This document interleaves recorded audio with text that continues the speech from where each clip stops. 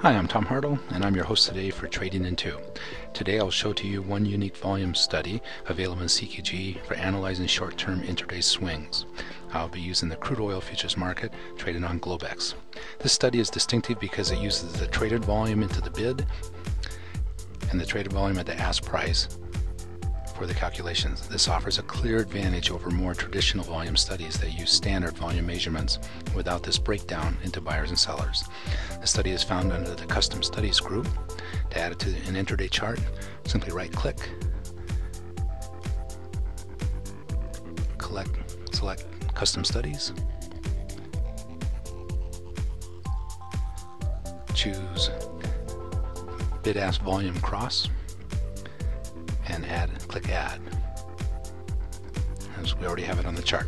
Let's take a quick look at the calculations for these two studies to better understand them.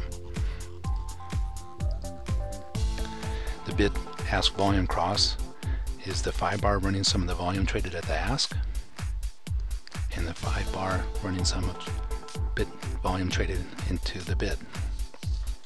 You can modify the look back period from the study.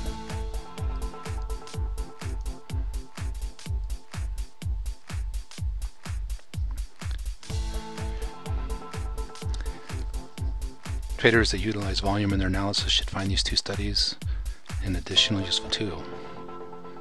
The easiest way to demonstrate the value of this study is to use a classic divergence comparison between price action and the volume action.